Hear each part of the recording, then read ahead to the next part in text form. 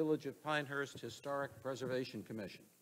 The Purpose of the commission is to decide applications for certificates of appropriateness for new construction or major work within the Pinehurst Historic District, and to do so by conducting hearings and making findings of fact when such applications come before us.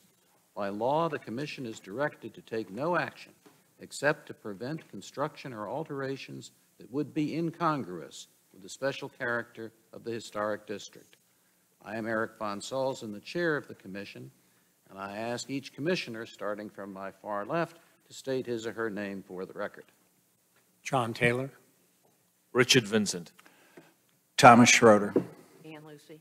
David Herring. Jerry Lurch. Thank you, commissioners.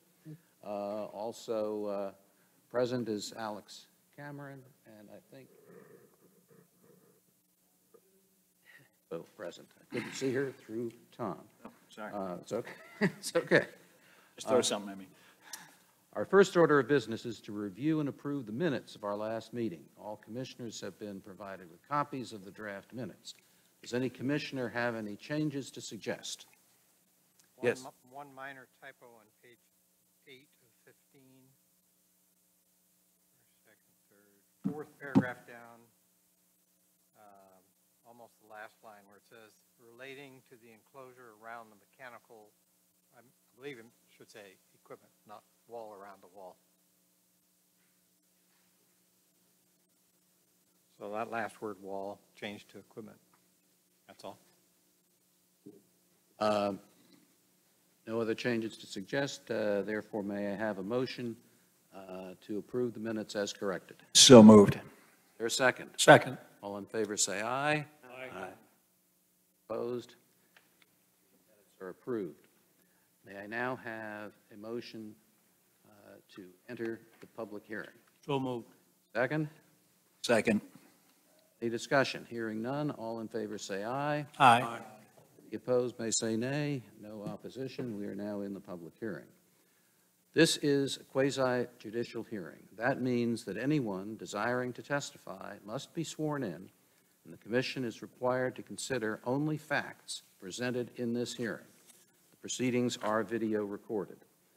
I ask the commissioners if they have visited any of the sites on our docket today and whether they have had any ex parte communications with respect to any of the cases we'll be considering today. John Taylor. I have visited all, no ex parte communications. In the interest of full disclosure, I am an adjacent property owner to one of the cases we will hear. I do not believe it will have any impact on my evaluation or vote. Thank you. Richard? Richard Vincent, no ex parte communication, have visited all the sites. No ex parte communications, and I have not visited the sites. I visited all sites and have had no ex parte communications. I visited all sites and no ex parte communications. Visited all, no communication. Visited all, no communication. Thank you. In each case that the commission will hear this afternoon, staff will first present a summary of the application. The staff's evaluation of the extent to which the application complies with the commission's standards for such an application or raises issues that require further information, the staff's comments on the application, and where appropriate, the staff's recommendations for commission action. The application and its supporting documents, as well as the staff's detailed report, will then be entered into the record. Commissioners will then have an opportunity to question staff about the report and testimony. Next, the applicant or the applicant's representatives will have an opportunity to provide any additional information supporting the application and to address any questions or issues identified in staff's testimony. Commissioners will then have an opportunity to question the applicant witnesses. After the applicant's presentation, if any member of the public wishes to present any evidence either in support of or in opposition to the application, please come forward at that time and identify yourself. I will swear you in and give you an opportunity to present any reasons why you believe that the application should be granted or denied. Please remember, the commission is interested in facts that will help us decide whether the proposed work would be congruous with the special character of the Pinehurst Historic District. As chair, I have the right to exclude testimony that isn't relevant to that subject, but I'm not required to do so. Commissioners will then have an opportunity to question you about your testimony. The applicant or staff wishes to respond to your testimony, I will permit them to do so. We will now proceed to our first case, which is COA 2022-00082 involving 80 Dalrymple Road. Uh, Is uh, the applicant present? You please come forward? You may bring anyone with you that you would like.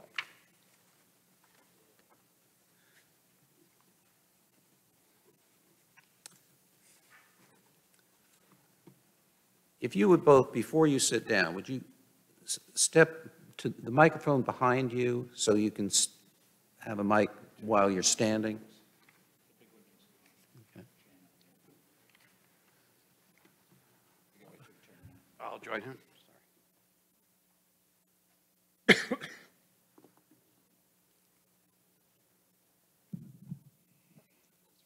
Okay, Will you uh, please state your name for the record? My name is Ralph Newman Jr. Thank you. And the other gentleman? My name is Bruce Cameron. Will you each please raise your right hand? Do you swear or affirm that the testimony you will give in this proceeding is the truth, the whole truth, and nothing but the truth? Yes. Thank you. Now you may please be Thank you. seated. All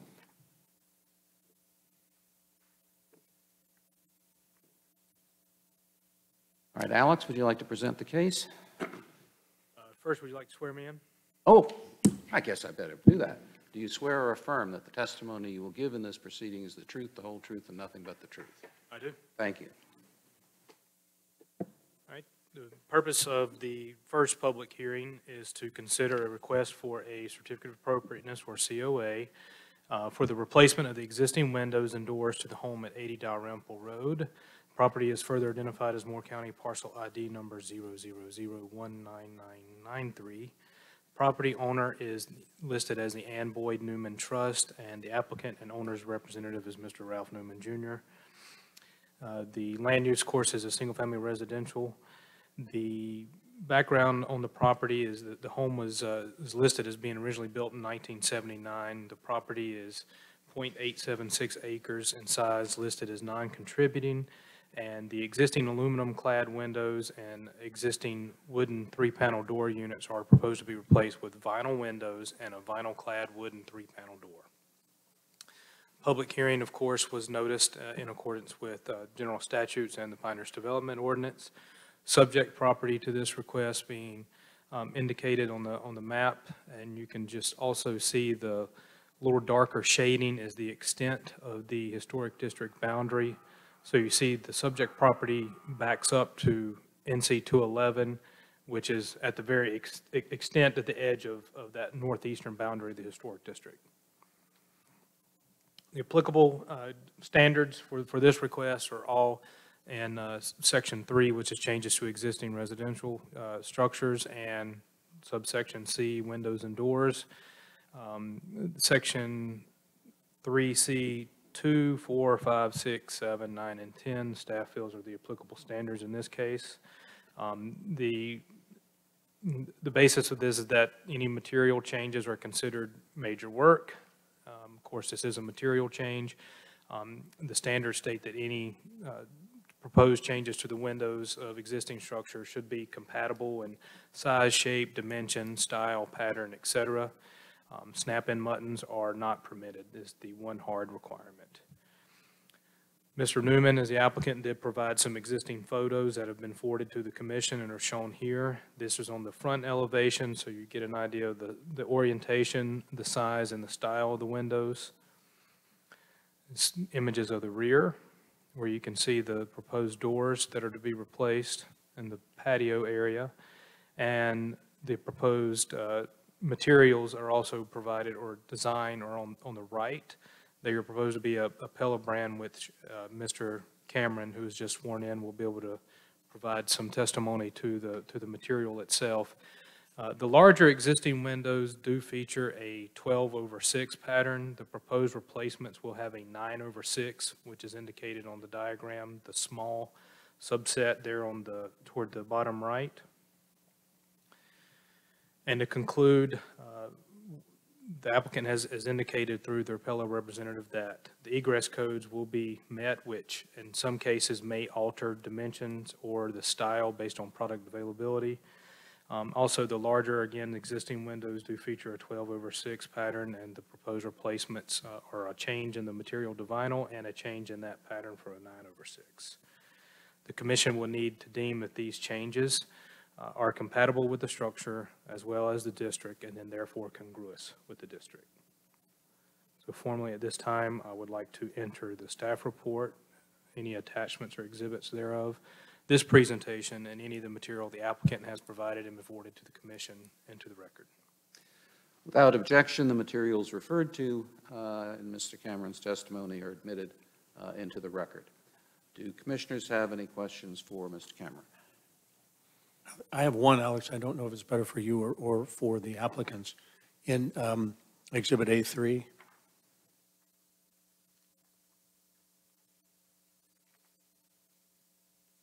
Like it pulled up, John? uh, probably easier for the other commissioners if it were, yes.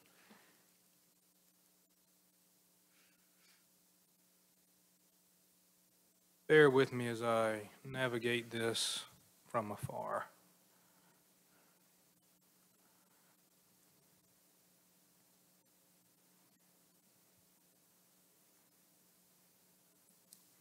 And if technology would cooperate as well. We. So in the upper left corner, am I correct that the width of the door unit is 97 inches? And if so, that seems like it would be significantly larger than the existing door unit, so requiring them to increase the size of the opening and maybe impacting where the windows are placed on either side. My understanding that the door, the, the door replacement was just the one on the rear at the patio. Thank you. Uh, Let me make sure I understood what you just said. They're not, you're not replacing the front door. Correct. Thank you. This, is the Exhibit A 2.3, the top photo, which is on the screen.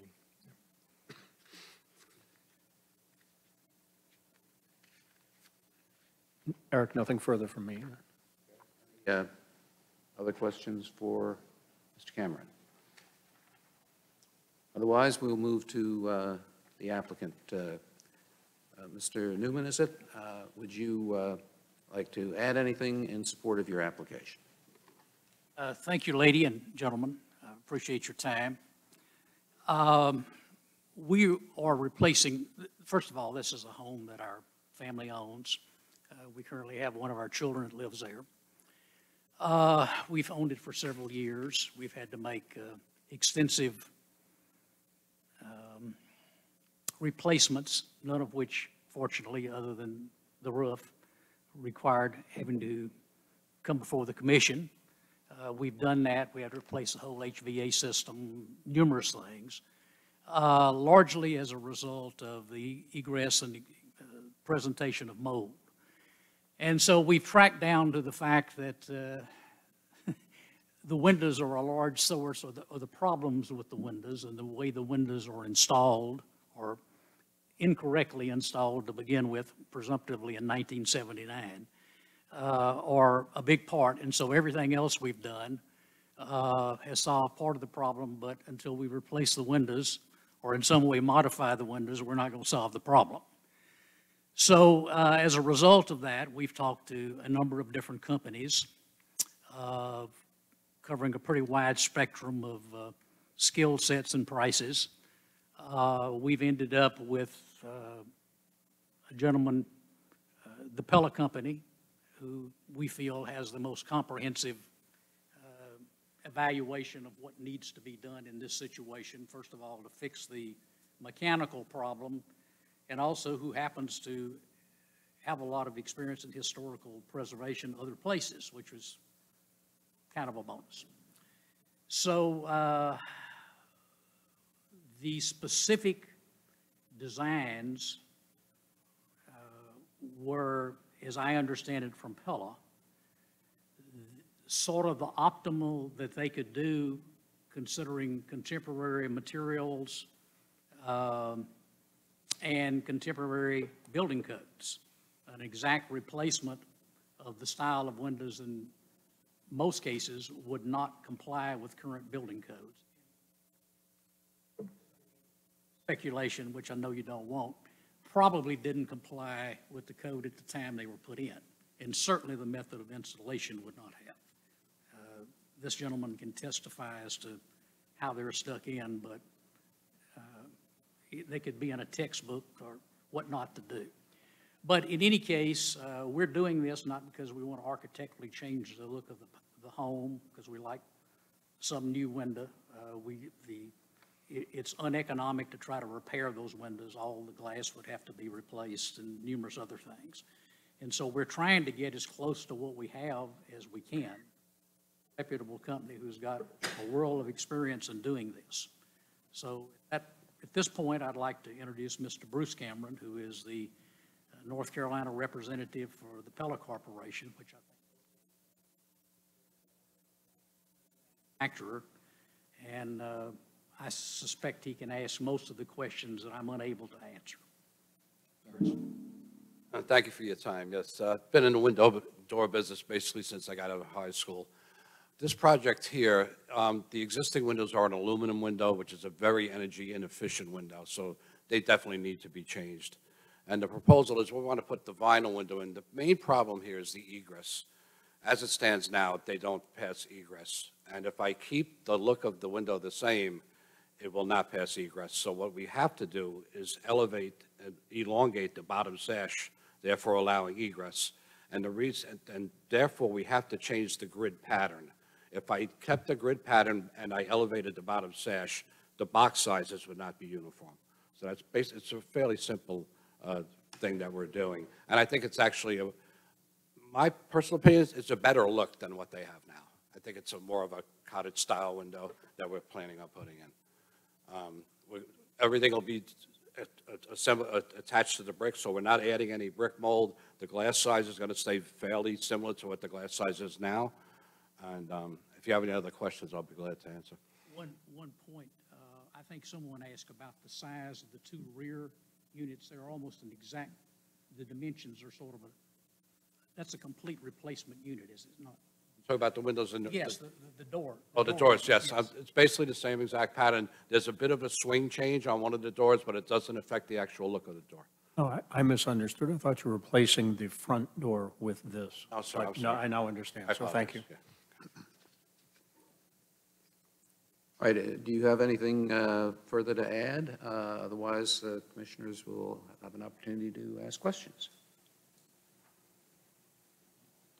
I just, my, my question, I think, is fairly simple. You talked about the egress, and that is a safety issue then for getting people out, and should they need to get out for fires or something to that effect. Is that correct? Correct, yes, that's what it's for. Okay, it's a safety issue then. That's specified in square inches, as I read. It's a 5.7 square feet. None- none Mr. tho- Newman? Sorry, sir. windows meet the code. I'm, we're being flagged to have you speak into your microphone. We can't pick you up. I'm Okay, sorry. thank you. Okay, thank you. Oh, okay. Is this? That's better. Okay. Oh, I understand. Okay, thank you. Um, Any other uh, questions from Commissioner? Yes, sir. Very minor point, since you're not replacing the front door, all my, my critique is gone, so good for you. I have one minor issue on your description of project. You properly described the uh, windows starting out as 12 over 6, you're changing them to 9 over 6. That's correct. Um, In the same sentence, you say you're matching the existing glass pattern. You're not. Um, Maybe I misspoke. No, Oh, I- perfect, actually, the the mistake was, I took his information, I translated it to, I I misspoke. Okay, that's okay. I just want to make sure we get it in the record right. Thank you. That's all I got. Uh, Any uh, further questions from commissioners? Uh, Very well. Uh, As I said earlier, if there is any member of the public who wishes to present any evidence, either in support of or in opposition to the application, please come forward at this time and identify yourself. I see no volunteers. I'll take it. Beg pardon? I said I'll take the- the appropriate, uh, Okay, This, therefore, uh, the evidentiary portion of the hearing is closed. Uh, and commissioners may now deliberate or move. I move that the Historic Preservation Commission approve a certificate of appropriateness and find the proposed major work at 80 Dalrymple Road is consistent with historic district standards and is deemed congruous with the Pinehurst Historic District based on the testimony given, the material submitted, and the findings of fact. Is there a second? Second. Motion has been made and seconded. Is there any discussion? Uh, Hearing none, I will poll the commissioners. John? Aye. Aye. Aye. Eric, aye? Aye. Ann? Aye. Aye. Thank you. It is unanimous. Uh, The application is approved. You have your certificate of appropriateness. Thank you. Thank you very much. Thank you for your presentation. It was very informative. You're welcome. All right. Uh, The uh, next case involves uh, 100 Beulah Hill Road. Is the applicant present? Yes, sir. You uh, please identify yourself for the record and spell your last name for the record. Calvin Burkley, uh, last name B-U-R-K-L-E-Y. Will you raise your right hand, please? Do you swear or affirm that the testimony you will give in this proceeding is the truth, the whole truth, and nothing but the truth? I do. Please be seated.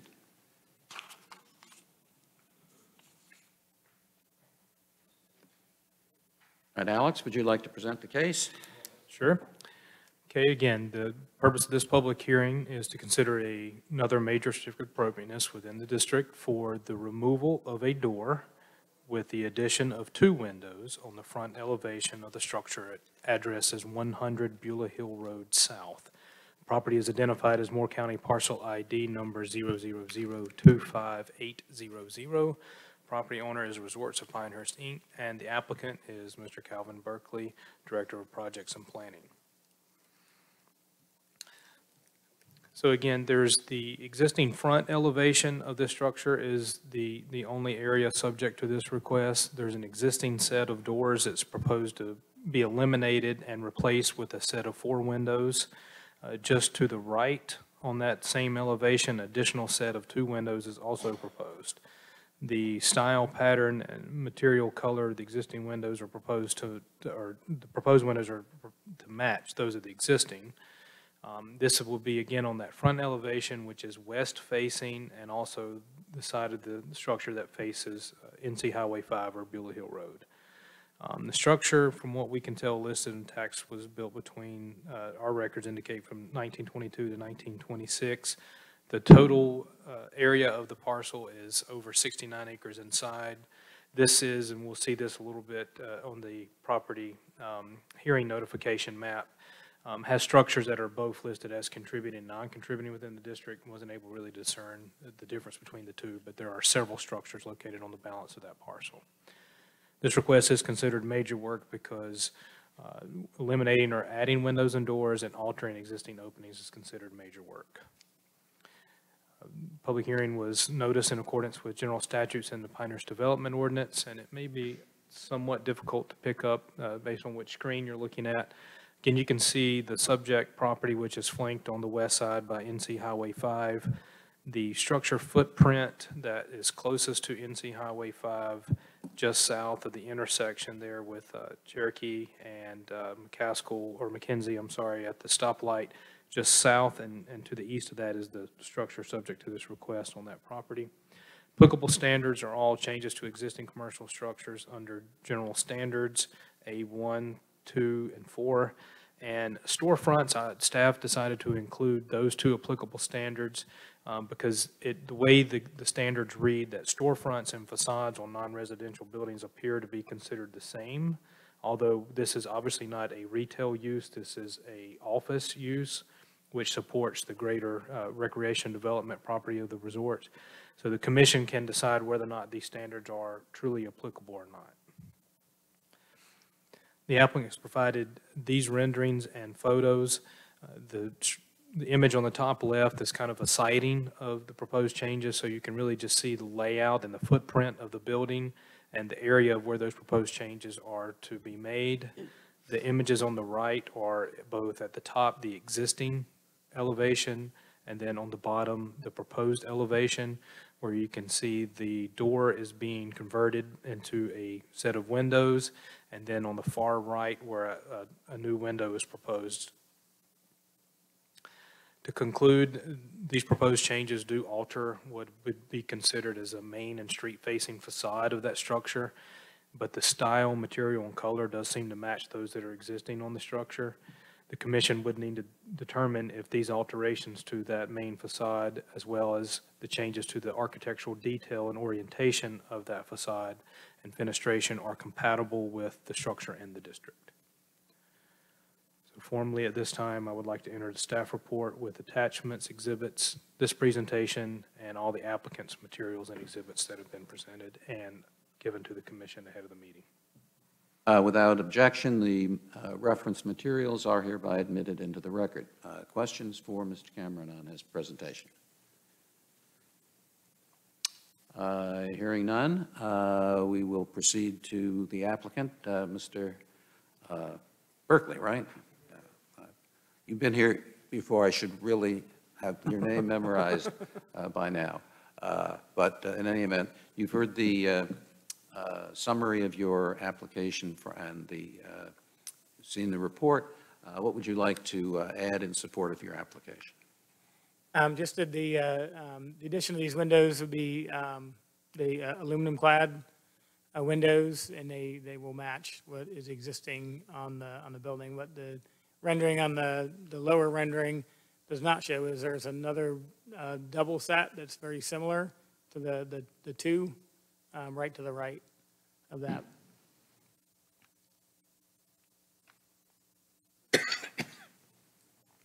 Um, It's not really relevant, but what's the reason for changing the, uh, the door into windows? So we are converting that, uh, what was previously a storage bay into, uh, office area. And I take it there's access to the uh, office through something other than going through the windows? Yes, yes, through the, uh, um, through the ins- interior of the building. Um, Any uh, questions for the applicant? I just have, I just have one, and I believe it's, you stated it, I just want to make sure it's clear on the record. On Exhibit A4, I believe that what you were referring to, and tell me if I'm incorrect or not, is this is the window, the one in the cloud, the red cloud there is the window, is going to be the two-pane window that you're replacing, and the one directly next to it that appears to be, well, which is OLZ, whatever that is, OL2 right there in the corner is the one that you were saying was the same size and type. Is that correct? Right to the, right to the right of that, yes. Well, down, yeah, just to the south, yes, right in there. I just wanted to make sure I understood. Thank you. Uh, Any other questions for the applicant? Uh, Hearing none. uh, As I said earlier, if there is any member of the public who wishes to present any evidence, either in support of or in opposition to the application, please come forward at this time and identify yourself. Uh, Seeing none, uh, therefore, uh, the evidentiary portion of this proceeding is closed unless any member of the commission has any further questions for either Alex or the applicant. No, okay. Therefore, uh, the commission may now deliberate or make a decision. I make a motion. I move the Historic Preservation Commission approve a certificate of appropriateness and find the proposed major work at 100 Beulah Road is consistent with the Historic District standards and is deemed congruous with the Pinehurst Historic District based on the testimony given, the material submitted, and the findings of fact. Thank you. Is there a second? Second. Motion has been made and seconded. Is there any discussion?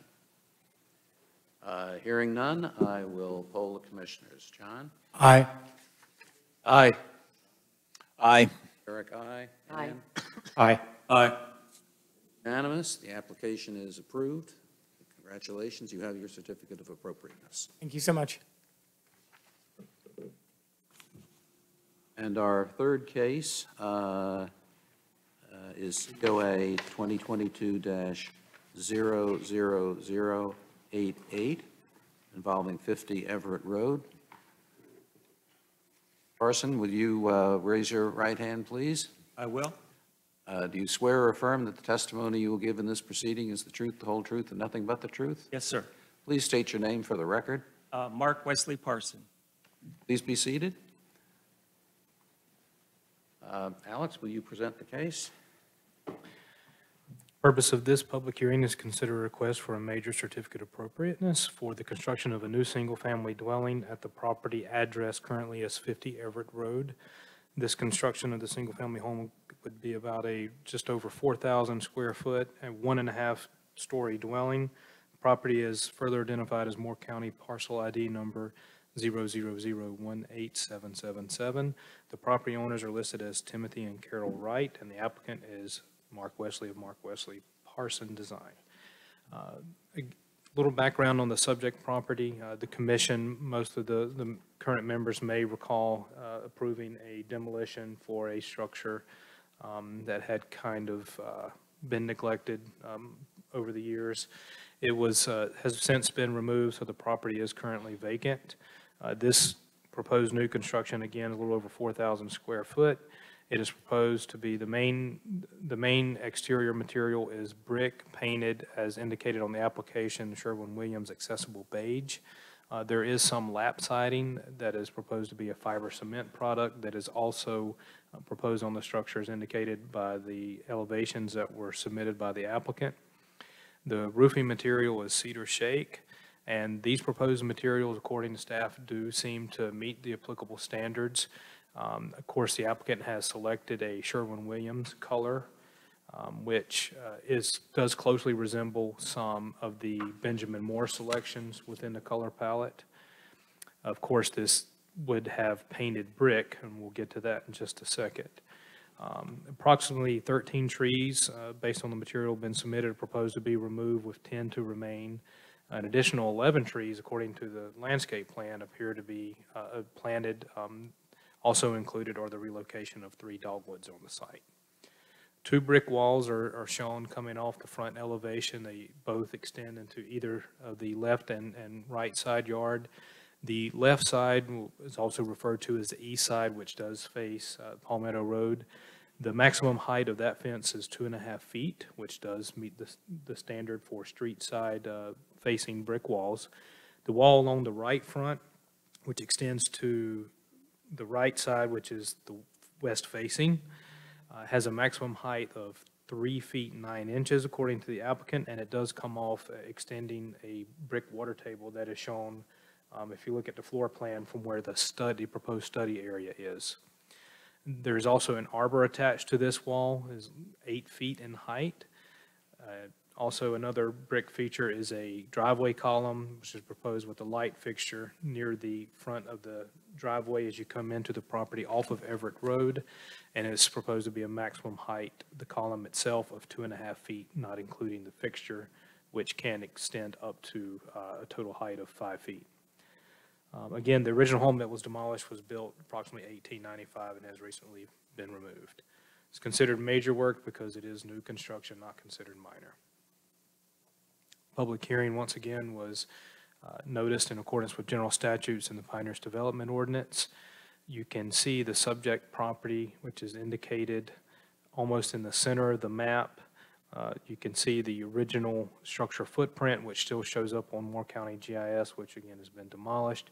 You can see it is a corner lot where it does have access to both Everett and Palmetto Roads, just at the little traffic island there where Maple and Everett converge.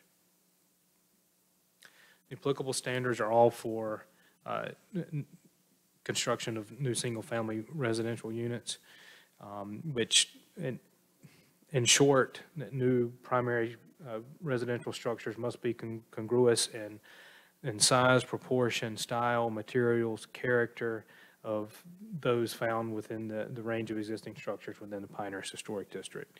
Also, paint colors uh, must be compliant with uh, the the color palette currently in place, and the new construction must also meet all applicable requirements of the Pinehurst Development Ordinance.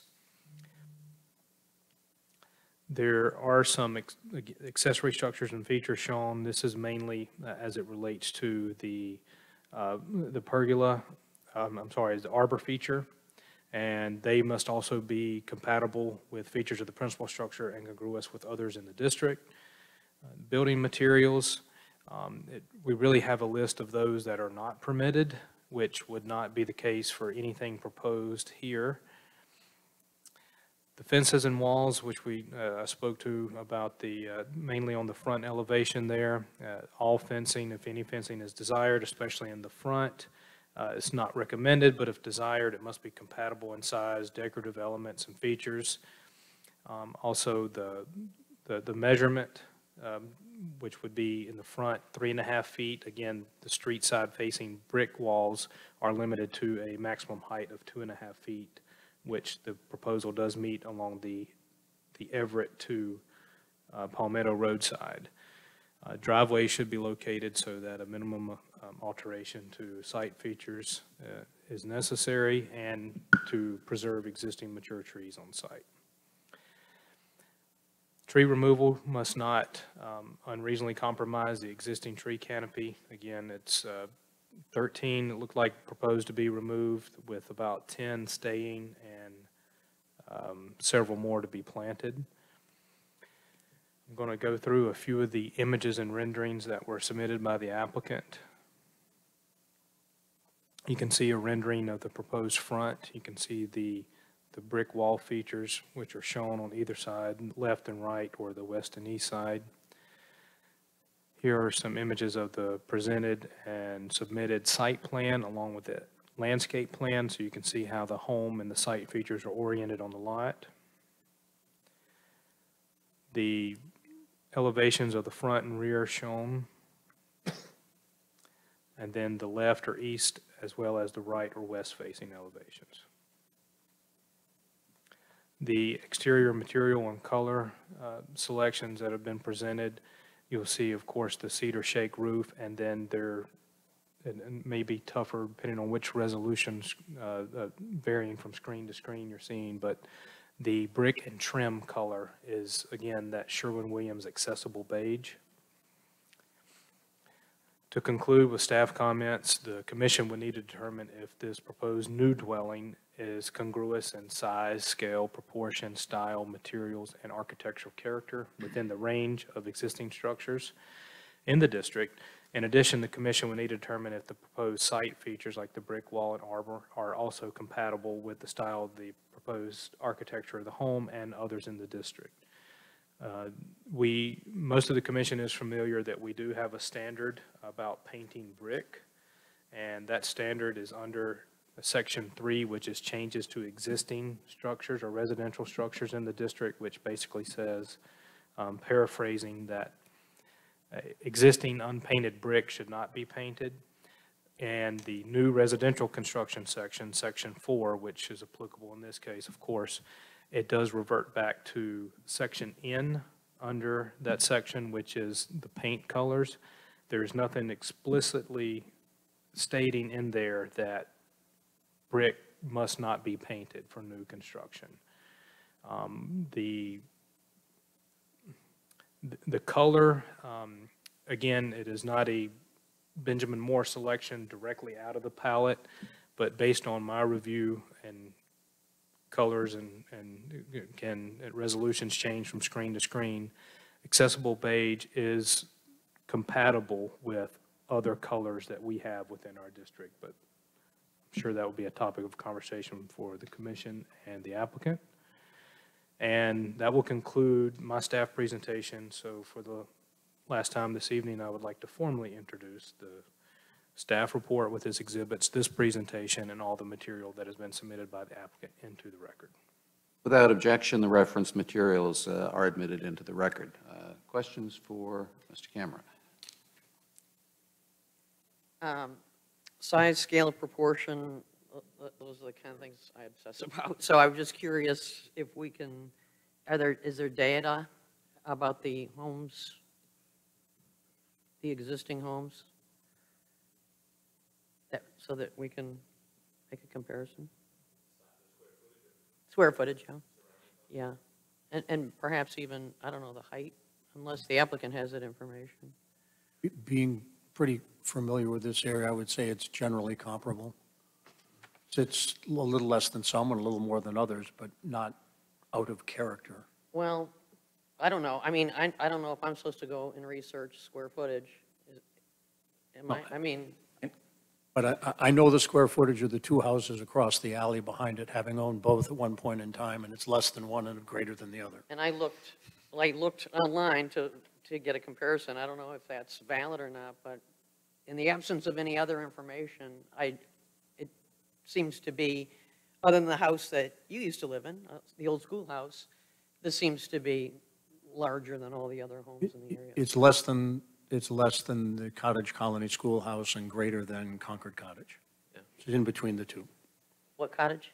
Concord Cottage, which is 185 Right, but Cherokee. I'm, I'm thinking of a couple other, few homes in that area facing um, Palmetto and Everett, and those all seem smaller. But, Can't, I can't speak to that. yeah, and Well, I it's, think we, we can handle that through kind of open discussion, if that's not directed at Alex, uh, you know. And, and if, if the commission, were- some of the information, I- I- Aaron, and if I, if I think I'm correct in what you're stating is, uh, looking online, there, there is data available from the Moore County Tax Department. Now, their, the data they use, which is listed as, as living area, um, is, is not always representative of conditioned space. It could include basements, attics, or other areas. um, But it, it could be data that the commission could use if, if they wanted to, and it is accessible. I can access it if the commission would, would like to have that.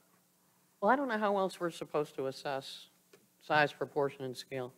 That's, that's where I'm lost. I think we're required to do so in the context of the entire district. From my standpoint, unfortunately, but I think Well- that is the standard. I, I beg to differ on that, but. That- That um, is the standard, the whole district. Well, I mean, it's, it's a, it's a case that w- went so far, didn't go all the way to the, the, the end of the appeals process, and who knows where it would have ended up, but, um, I, no, but, I mean, if we're gonna discuss size, proportion, and scale, I think this is very important stuff. So let me, let me. if I And also as to the color palette, I, is that, it's a must, right? It is. And so that means it has to be the Benjamin Moore ones? No, that- Okay. that, that's, that's not historically how we have applied it. It- You're not limited to just those selections by Right. Benjamin Moore, but if there's another manufacturer that has, if you really couldn't tell the difference, that's how we've applied the color palette. So are there swatches we can see? Yeah, I have one. Okay. That's it. Thank you. Uh, Alex, uh, would you go back to uh, the, the exhibit that shows the notification uh, area? S two point two. And it, it may actually be better if I pull up the actual PDF. Might be a little easier to zoom in. I mean, I'm even having a tough time seeing from here.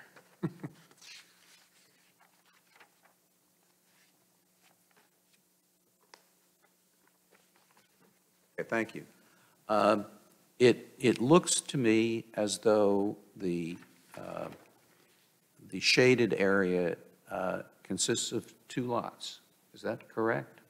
Uh, Originally, um, when, when the structure was, uh, since the structure's been demolished, the, uh, the two lots have gone through a recombination or lot line adjustment. I see, okay. So they are, that is now a single lot. Yeah, you see this, this is the little, little piece of pie here, so to speak, that you're, you're referencing. Right. Yeah, this, so bet- between uh, these two properties here, there's been a, a, this lot has, this lot line has been abolished, and there's been a, a lot line adjustment. I believe it was 2020, but I'm not 100% certain. on Okay. And I think, Alex, similarly, the, the lot line parallel to that in the small rectangle, I think that lot line has been abolished as well. Correct. So that that's effectively one lot. What used to be three lots are now two. That was going to be my question. So the, the, the narrow, long narrow one has been combined with the one, if you look at the screen, uh, to the left and down. and- With 30, correct, okay, 30 Everett. Okay. And then the other two wedges have been combined into one as well. Uh, th- Yeah, th- there is no issue with uh, relation to setbacks for Okay. I property just values. Mhm. was trying to understand why there was this thing in there that didn't make any sense to me. There's, there's nuances within the tax department and the the Oh, I county understand. GIS system about when, when plats recombination plats or exempt subdivisions are a- approved and recorded and when deeds are filed and, and when they'll, they'll change the data. So that's strictly what you're seeing, the same reason why the, the footprint of the building that is obviously no longer there anymore still shown on there. Understand. I just wanted to make sure I understood. And I just wanted to make sure that we aren't being asked to do anything with respect to lot lines. That's already been done by others, correct? And, and uh, I know you- the question on square footage, this may be the best guide as far as scale for you to be able to see building footprint of comparable properties. Yeah, but I don't see the proposed one on there. We have to use our imagination and sort Oh, well, of okay, superimpose I it am. from the other site plan on the other exhibit, so. Uh, Any other uh, questions for Alex? Yes. Barry. I have a question, Alex. Is there uh, a, a- a sketch like this that shows the new property similar to the one that was demolished? So we can get a fe- sense of scale? The, the site plan that was submitted shows the total boundary of the area. I, I can, I can go to that exhibit. I am, just since it's become part of discussion, uh, I am trying to comb the register of deeds to find that uh, recorded plat that did that recombination. Terry, I think Exhibit Well, it's A- nice to know that the building that was demolished many years ago, but what, what we're really needing to know is the position of the new proposal and what it looks like in reference to the surrounding area. This doesn't do much for us. I think A 2.1 has part of that, which is how this prop, how this proposed house sits on this property, but it doesn't contain, it doesn't superimpose that with the other properties Exactly. around it. And, and just, just to be clear, that would Okay. be, is that what you're looking for?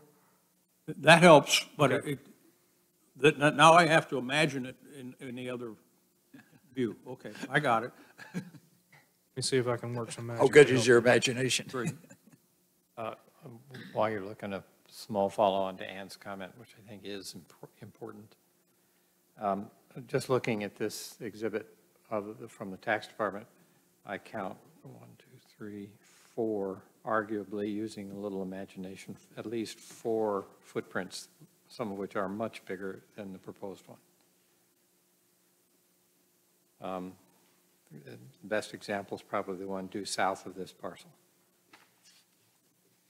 Big old house, Condominium? Is that what you're talking about? big old structure. This one. Oh, that one, yeah. Oh, yeah, yeah, yeah. Next door to John's. And I think once we hear from applicant, we'll probably understand some of the layout, but, I mean, I- there's a difference between a 4,000 square foot single-story house that's sprawling and a 4,000 square foot two-story house. There's, there's, there's a difference where you lay it out with trees, so scale's important, that's for each of us to consider and evaluate. I do agree with, uh, with Terry, it would have been a little easier to see it. Uh, For, for me, I deal with these all day as a living, so I can see it, but I also know it would have been helpful to have it as a sort of zoomed-out overlay, which that scale question could have been answered in 10 seconds for you.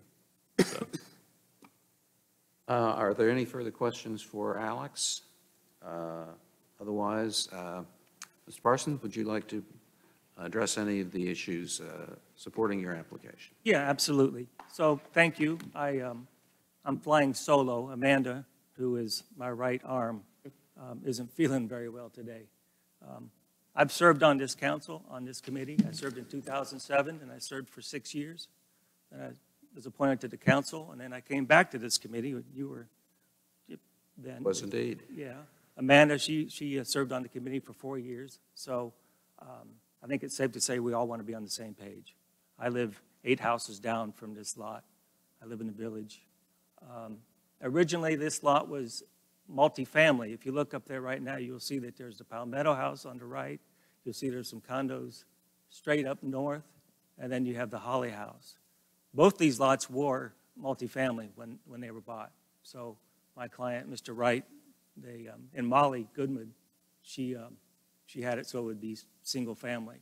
So what we could have had there was apartments. Um, And what we can still have is two houses, because it's 22,000 feet. R10 is 10,000 square feet minimum. We have to have 75 feet of road frontage. We have 271 feet of road frontage. So my desire, and Amanda's desire is, when we do our job, we don't get any credit for it, because it has a sense that it belongs.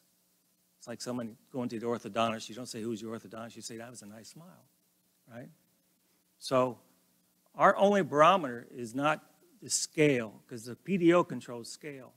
Scale is controlled by the PDO. I'm, I'm only allowed to be 25 feet at the setback. I can be 35 feet total, and I can be 28% total impervious. We are 17% total impervious for the house. Even with the alleyway, we still come under 40% allowed, we're allowed to be 36%. We are at 36, we're allowed to be 40%. And I think the alley would be something that we could even, what's, what's gone on in other alleys, that might be uh, something we wouldn't want to go down that, that road. Um, So once again, according to the scale which the PDO controls, I could almost double this house size. I'm at 14. I mean, I- I'm allowed 14 more percent. We don't want to do that.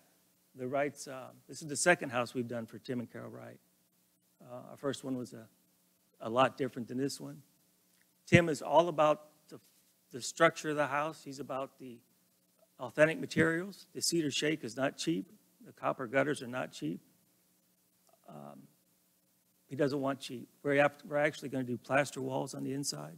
There's some, you guys don't see the details that go on the inside, but there's some radius arches, some big, thick arches. I think today's architecture is pasteurized. Um, It's Hardie siding, and there's those details that aren't found anymore. If you look at the chimney detail on that side elevation where the screen porch is, there's, there's radiuses to that chimney. There's going to be a herringbone pattern in between. There's going to be scuppers along the, um, the bottom of the screen porch. Um, Those things are really important in the total design. Another thing, I started out, when I first started my, my practice, I did landscape architecture. So you see that this is way and be ab- above and beyond what, what's required. What's required is foundation plantings. And I have plantings all around this, this property. Um, So it's authentic materials. Tim said, he- they let me kind of decide, Amanda and I, what, what, what it was going to look like. He says, what do you want to look like? I said, I want to look like the oldest house on Everett Road. The one, the cottage that is well-kept, and it's timeless architecture.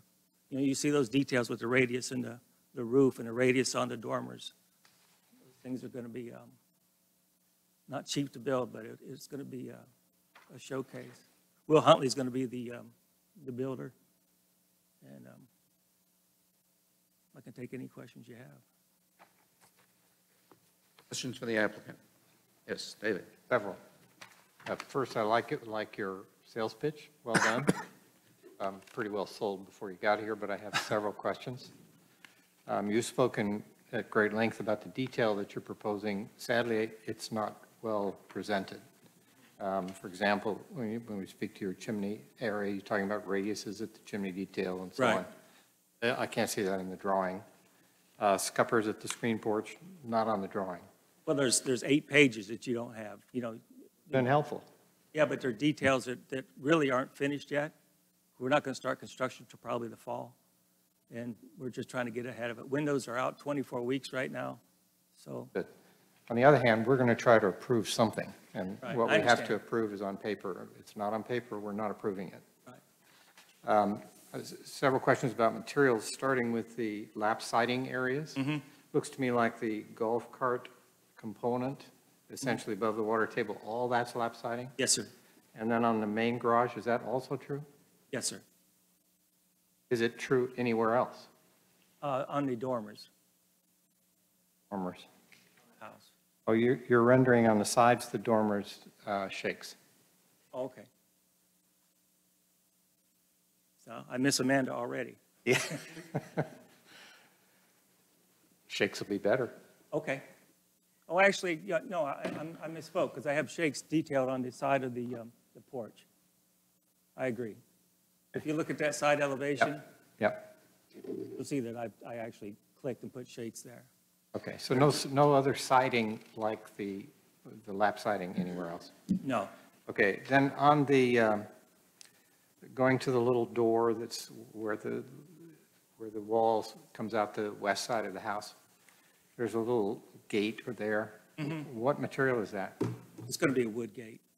Painted monolithic like everything else? Yeah, maybe teak or mahogany, something. Oh, natural, But no, it- I think it'll be painted. painted, Yes, sir. okay. Same color as everything else? Mhm.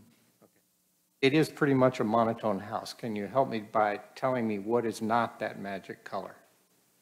Not that magic color. I've forgotten what color it is. It's Oh, it's this one right here. Per- perfectly beige or magnificently Yeah, beige. actually, you know, you know what's going to happen? Um, The same color on different materials renders different. Understood. So that's where we're going to get the, the different textures to it. I have no objection. I'm just trying to find deviations from that so I know what it is I'm approving. Yeah. This is the color. You want me to pass this color? Oh, no, it's okay. So the shakes are not that color. They'll be natural. No, Not no, gonna- so the roof will be natural, Okay, but the shakes on the side will be painted. painted also. So it really is monolithic. How about the brackets? You've got brackets, but, Bracket, bracket's going to be painted as well. okay, and they're wood? Yeah, that's wood. Is there any metal up on the top of the chimney?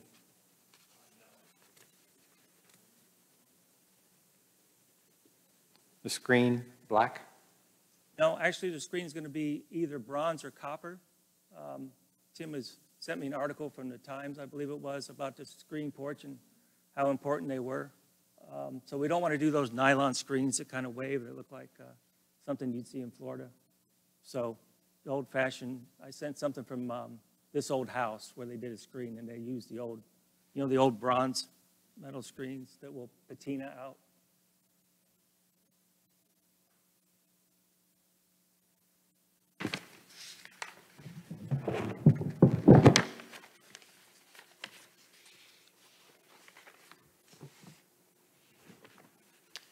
Around the, I think it's the master bedroom component, there are a bunch of pairs of windows.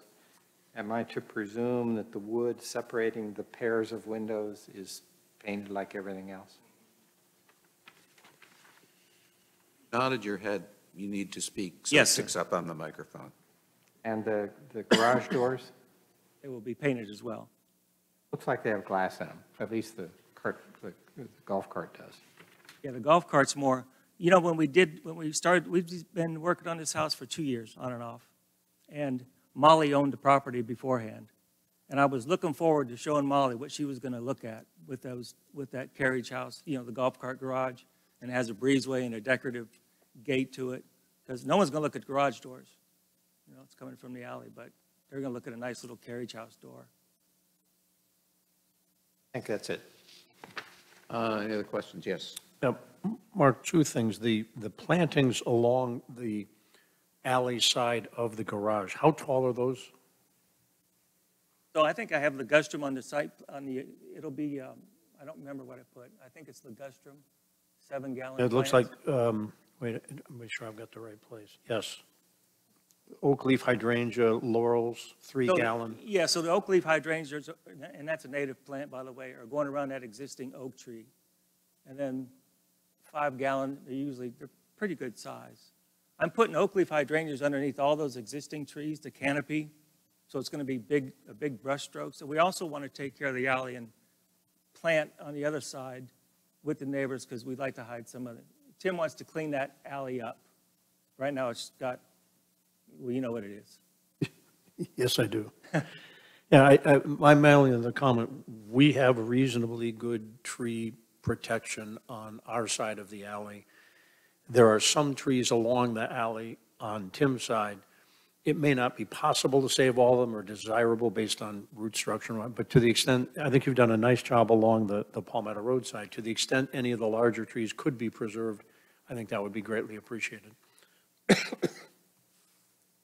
No, I, I, I hug trees. I've planted enough trees, but I, I still like the, you know, we went to Charleston for an exercise to look at the landscaping, and how Charleston has this feeling. And you come back and you say, you know, it's the trees that are making this happen. Um, So that's the whole idea. Like I said, if we've done our job, we don't get any credit for it. So we want it to be nestled in there. They certainly help give an, uh, the impression of age to it, if they're still large trees Right. present, so. Um, Any other questions? Applicant? All right, hearing none. As I said earlier, if there's any member of the public who wishes to present any evidence either in support of or in opposition to the application, please come forward at this time and identify yourself. Sir, uh, would you go to the microphone, please? Would you uh, state your name and spell your last name for the record? Name is Jim Yardley, uh, Y-A-R-D-L-E-Y. Yardley, would you raise your right hand? Do you swear or affirm that the testimony you will give in this proceeding is the truth, the whole truth, and nothing but the truth? Yes. Would Yes. you like to come sit down at the table?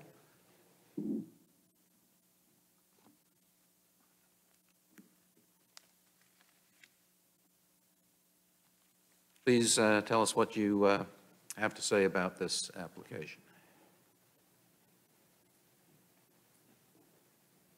Just for the record, I um, spoke with Mr. Yardley a couple of weeks ago at his house and went over the plans and had a 45-minute discussion, and so I think I know what's coming.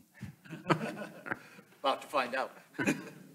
No, I, so I, I, I appreciate this. I appreciate the opportunity. I appreciate, appreciate Mark's uh, leadership on the project. Um, I live at 30 Everett Road, so that's on this, uh, th- if this could stay up, this would be very helpful, but I'm, I'm down here off the, off the chart to the, to the bottom, but we. uh, Just to the west. Yeah, sorry, Mr. Yardley. share that, that westerly uh, um, property line with, uh, with, with Tim Wright. Um, Mine is a, is an 1895 cottage. It's one of the original 30-odd cottages. Uh, You recall that it was significantly restored by Bart Boudreau uh, several years ago under the direction or under the oversight of you all.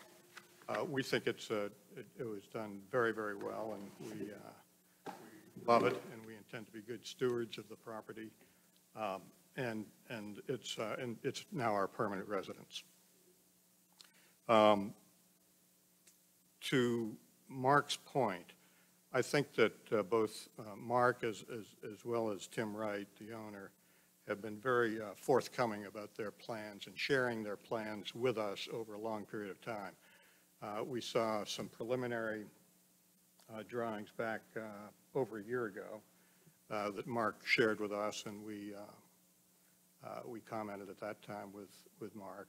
And then most recently, before announcement of this, of this, of this hearing, Mark again, as he said, met, met with, met with me. Um, I also have had a a phone conversation with, with so that uh, I, I, I do believe exactly what Mark says, nothing that's going to come out of my, my mouth here that he hasn't heard before, or Tim Wright hasn't heard. Um, And so my summary comments about, about all this are as follows. Uh, First of all, I think that on the positive side, I think that Tim and Mark have exactly the right aim, as Mark said, to make this look like the oldest cottage in the, in the, in the neighborhood. Uh, I, I think, I think I, with respect to the comments made about the, about the house itself and the size or uh, scale and style, I have no problem with it. I, I, I, I like it. Um, I, I, uh, I, I commented to Tim uh, last week that if anything, it looked a little bit Tudor in style. I don't know whether he thought that was a compliment or not, but the, the steepish slope to the, to the, to to the roof and the, and the dormers, uh, the vertical types of windows all, all reminded me a little bit of, of Tudor. Uh, My personal taste is not for the, not for the radius or the curvatures of the, in the roof. I haven't seen a lot of that in Pinehurst, but, um, but that's a personal thing, and I, I have no particular objection to it. Um, One thing that Mark pointed out in his conversation with me, and, and when I, the more I followed up and looked at it, I, I, I wonder about, and that is the, uh, there are five existing red cedar trees, generally at the, off the front corner of the house, around where that, there's a new crepe myrtle, I believe, Mark, that's to be put in uh, there on the front, facing Everett on the, uh, just to the, just to the east of the front door. And this cluster of, of red cedars are, are, are they're very mature, they're, they're as tall as some of the pine trees around there. Um, And I, I- I know that Mark and, and Tim have grappled with this, they're going to be removed. Uh, But I, I, and, and so I, I don't have an objection with it, but I, I point it out because when, when I, those are the, okay, so I think those must be the five trees there. Um, But there, there really is sort of an interesting cluster, and if, if, if uh, limbed up, uh, when you look at red cedar trees, they have a very handsome uh, trunk to them. Uh, I understand why they're, why they're coming down. Um, I, I've dealt with similar things in prior lives, and, uh, but uh, it, it's, it's too bad, in my opinion.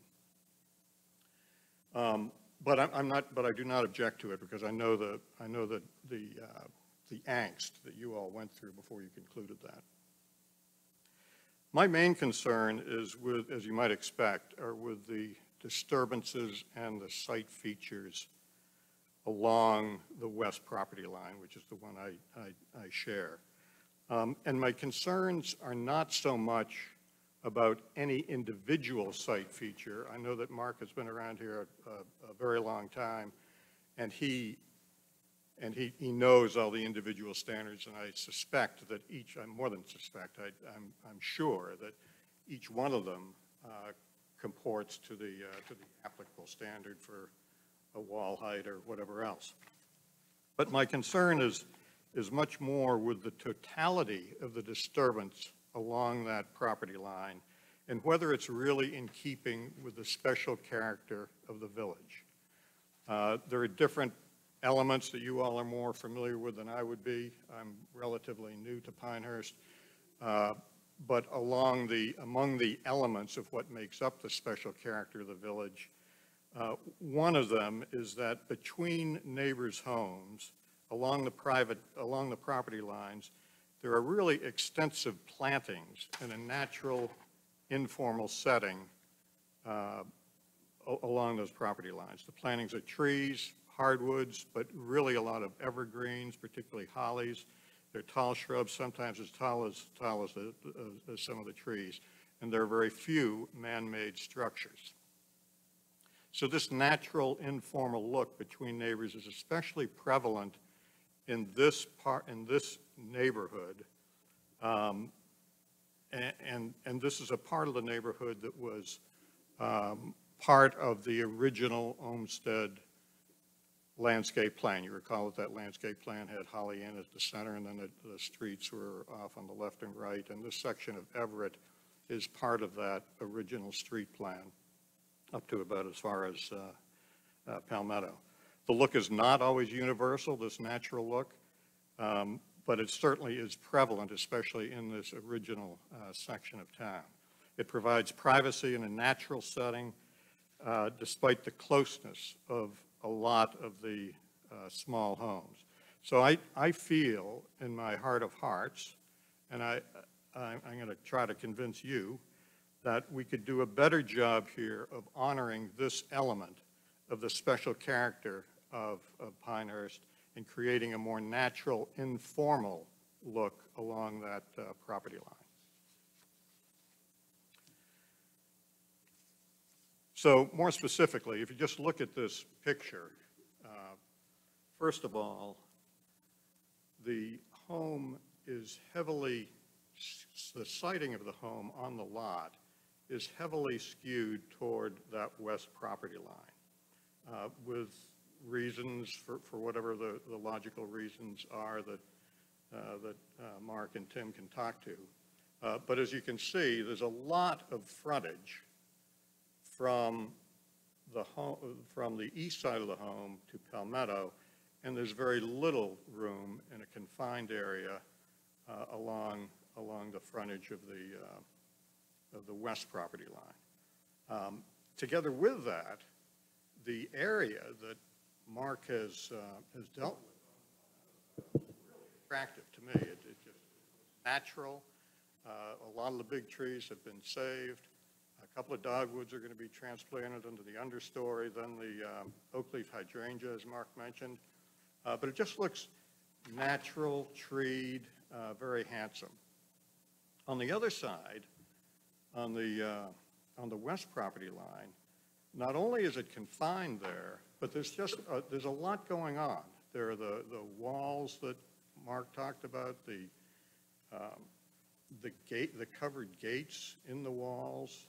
Uh, There's a, uh, there's a courtyard you can see there, uh, pathway, gravel pathway, front um, parking area that, that is up there.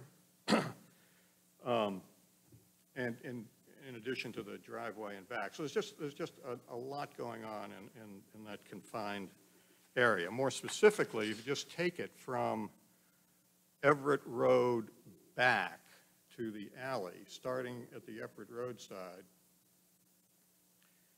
there's that, you can see that it says gravel, that's the gravel parking area. Um, It's within about, uh, like about seven or eight feet of the property line.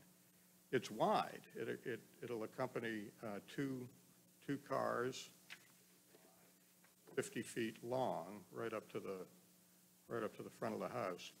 Uh, And what it leaves along the immediate property line is this six or seven foot area that I think on the other, the, the landscape plan, maybe we should put up, could we put up a landscape plan because I'm going to be talking. I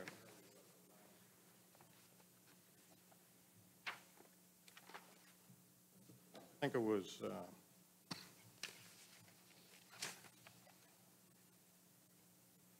Alex, do you have the rendered copy that we sent? What's that, Mark? Rendered copy? actually, I this did one not is, receive this one's that one. fine. This Huh? is a good one. I didn't receive that one, Mark. This one's good. Is there a way to fit that all up there? Well, okay, here, this is even better. So the, the north is Up. Everett. This is lined up perfectly. So you see the, the gravel uh, parking area there that's uh, two cars wide and 50 feet long. And it's close enough to the west property line so that all that's, all that's left there in terms of um, uh, landscaping is a ligustrum hedge that is, I, I think, intended to be maybe three feet high or so, but also with a very formal look. Then if you continue down from that,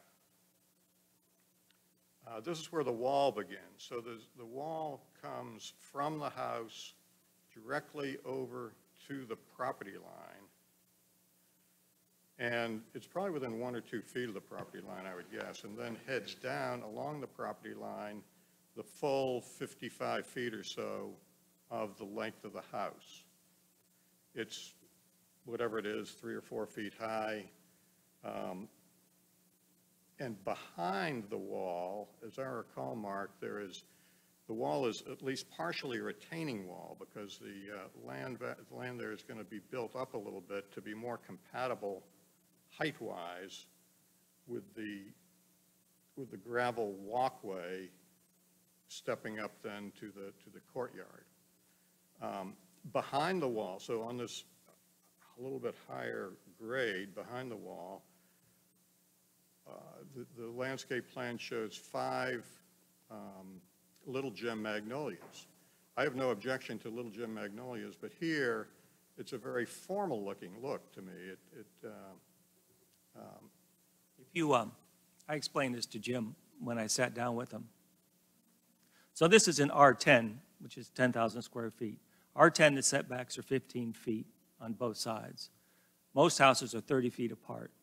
His house is going to sit more than 75 feet away from this house. So it's more than double what the, the normal distance is. He's got a lot of buffer, if you will. What was most important to me were those large trees on the corner of Palmetto and to set the house back, because there's already a buffer between him and the house anyway. So what dictated that whole house, and actually, he talks about a more natural look. That property line is a straight line, and the house had to come back there so I don't interfere with all those large oak trees. If you look everywhere else on that design, the, the, the bed shapes are organic in the radius. The only post is straight, and I do want a formal garden there. We want a, we want a formal area where everything's lit up, it's got hostas down below. Um, It's just, it's a nice space formal garden on the west. on the west, yeah. Uh, May, may I interject just, just really quick? Uh, My understanding reviewing the applications, Mark, and we can, we can discuss more later after the conclusion of the hearing. Um, That, that wall around that western boundary and that, that courtyard area, could you let me know, is that truly going to be a retaining wall or is that just a, a brick freestanding wall not retaining? as No, it's either? retaining. There's, there's five feet of drop from the, from the, from the, actually from the garage to the front, there's five feet. So you'll see there's steps there to go up, but it is there to, to kind of level that lot out. By the time the, get- the wall gets up to the garage, it may be only eight inches tall. So it's its tallest point is down towards Everett. It- So, it- and, and it- I'm, I'm sure, it- since it's a retaining wall, the height's going to vary. Um, Just, just for point of reference for, for everyone here, the development ordinance is going to require that, it basically says any retaining walls, meaning how we regulate them, anything over 18 inches in height as a retaining wall cannot be closer than five feet to a property line. So there would have to be a, a five-foot setback for a retaining wall on that, on that property line, which I'm sure is shown a little bit closer now. You haven't got to, to full detail, so there would have to be a, a five-foot setback for a retaining wall. And- Not, not a regular wall or fence, but a retaining wall. I'm happy to do something more organic if he wants to donate few feet of property. We, we could, It seems, seems that recombination survey maybe came a little too early. C- Can I ask a clarifying question? Is the actual property line depicted here? yes, sir. The- The, the, is it the dark line? Is it the thin, solid line? Or the dotted line? Dotted line. Dotted line. The dotted line is the property line. So, ju- just continuing here a little bit, so be- beyond that wall, uh, as you get back to the garage area, and the garage uh, faces the, the- the west property line, the garage doors face the west property line as well. Um, And Mark and, and Tim have, have, uh, I think they've done, uh, they- I'm very thankful for this. And, and an early, and so you see the, the turnaround area that's the driveway coming off of the alleyway and then turning into the, to the garages from, uh, from the west side. Uh, In an earlier version of this, a year ago, the garage was clo- much closer to the property line, which meant that the driveway turnaround was essentially on the property line or within a couple of feet, so that there was very little room for any natural uh, buffering. And so it, it has been moved, and and I appreciate that very much.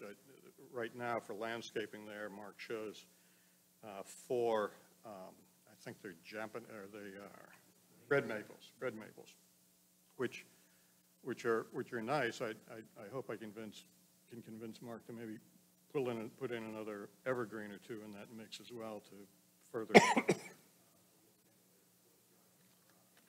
But, but anyway, my, my general point is that there's a lot going on along that property line in a very confined area.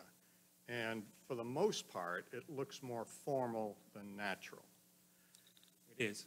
So if, if it is accurate that um, one element of the special character of Pinehurst Village has to do with natural-like, uh, extensive plantings between neighbors, um, I just, I just feel like we could do a little bit more here, and I have a couple of suggestions.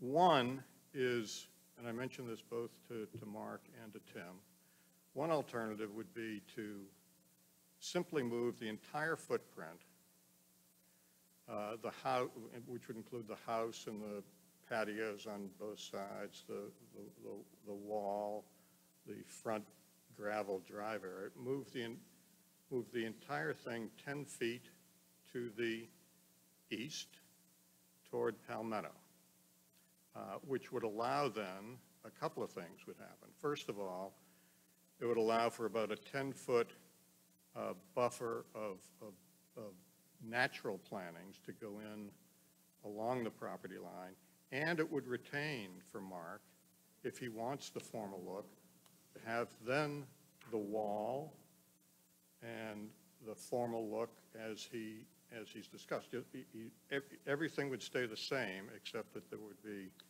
uh, 10 feet of buffer in there. And uh, let me, I- I I omitted one fact that I think is, is relevant here. Um,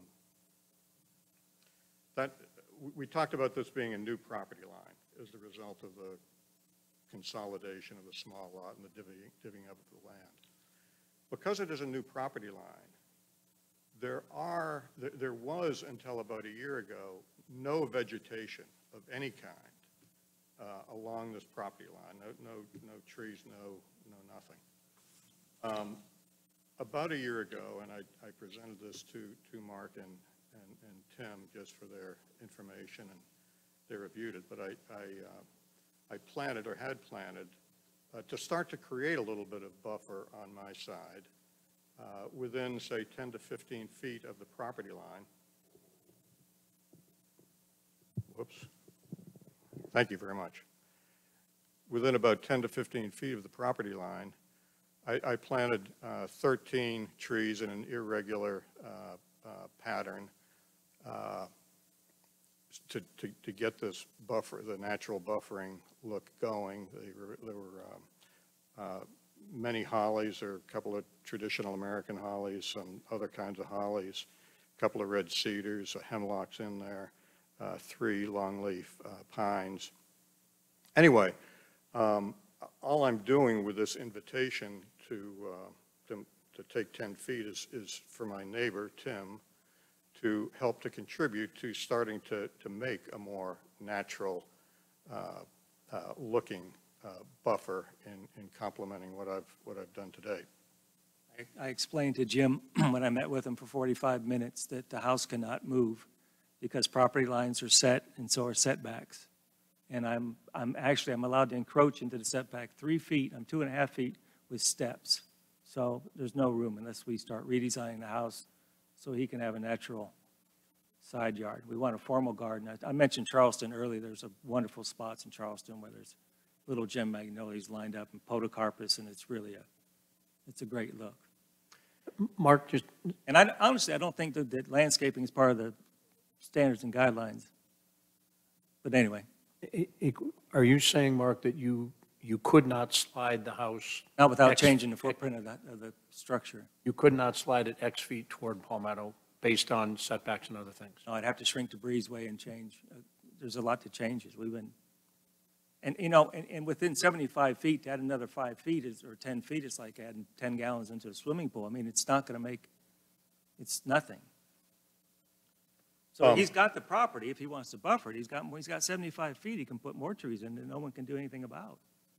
So, so alternative number two, that was alternative number one. Another, another thought or another possibility is to leave the house where it is, um, but to uh, move the front parking area, slide it just five or so feet to the right, um, to the east, so that you can put in a little bit more, a little, so you'll have a little bit more buffer. I'll do there. that. I'll do that if the village lets me take that tree out.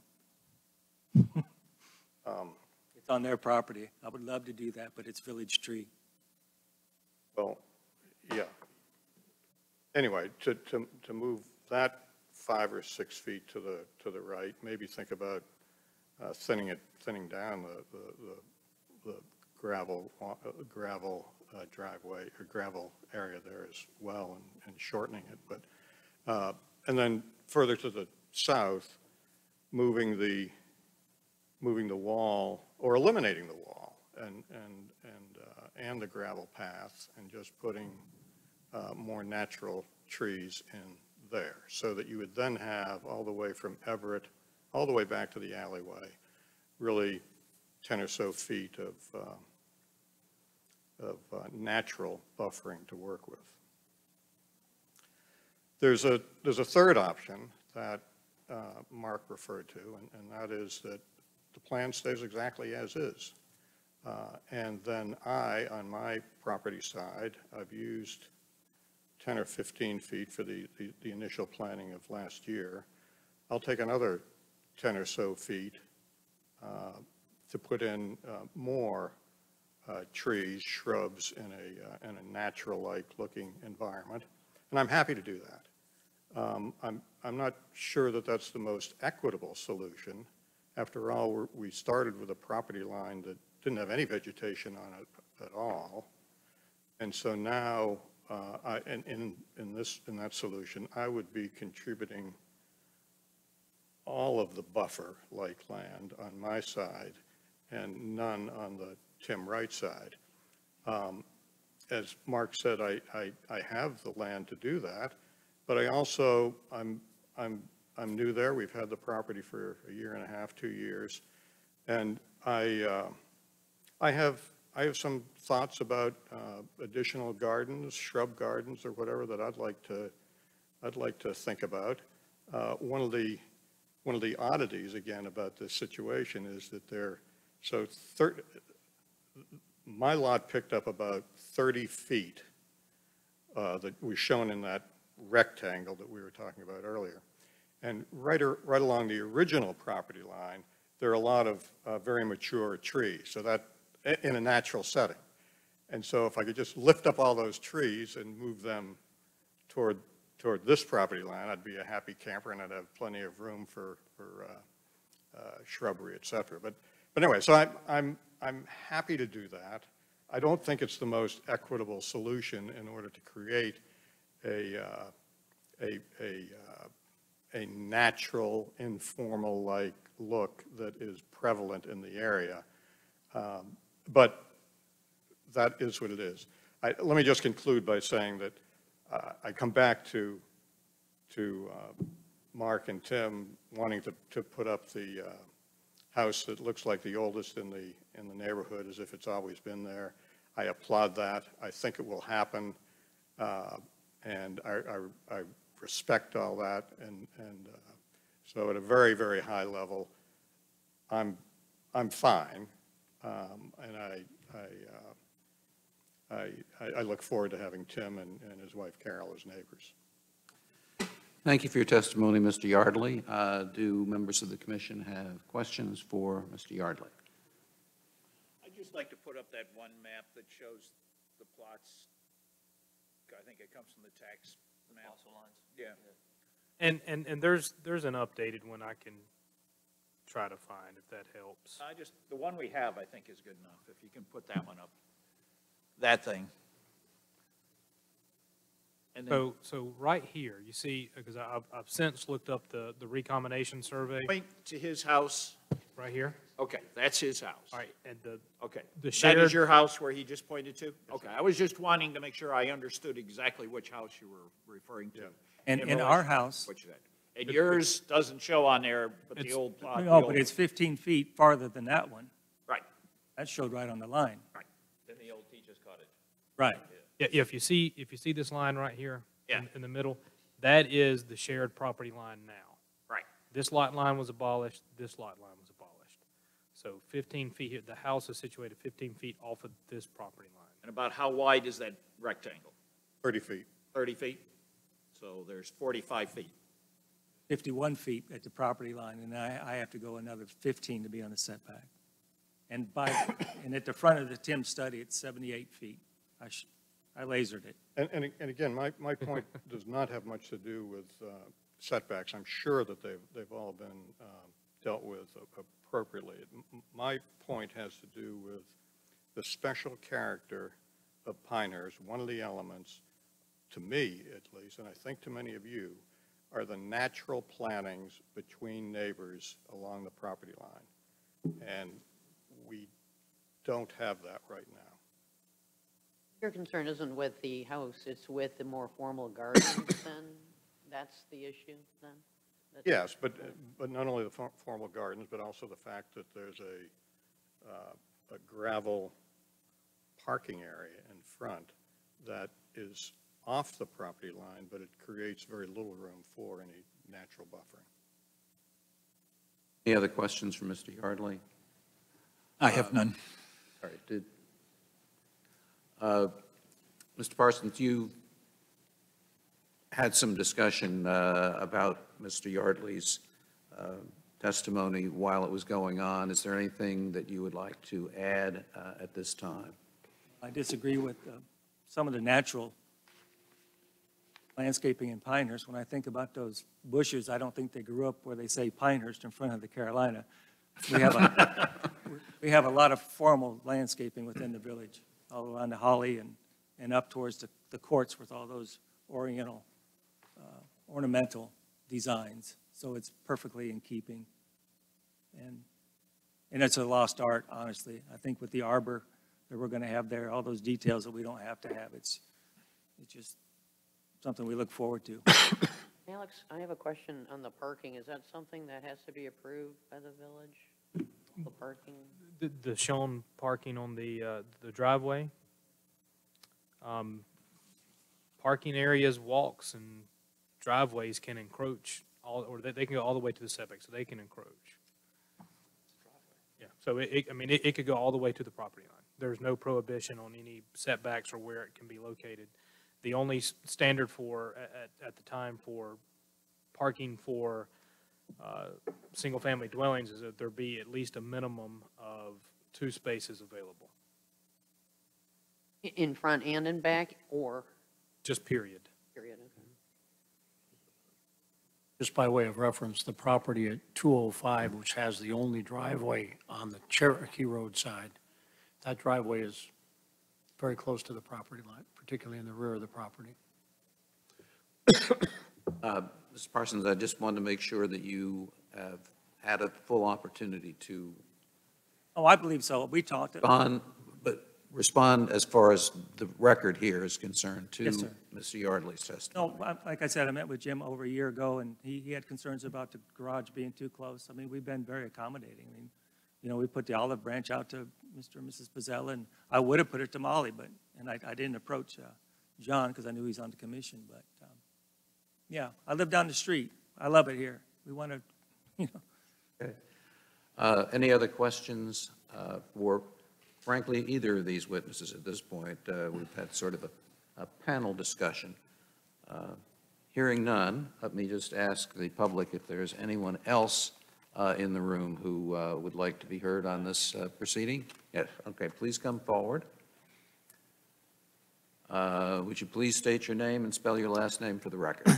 Patrick Pizzella, P-I-Z-Z-E-L-L-A. I live at 170 Palmetto Road. Thank you. Would you raise your right hand, please? Do you swear or affirm that the testimony you'll give in this proceeding is the truth, the whole truth, and nothing but the truth? I do. Please come forward and be seated.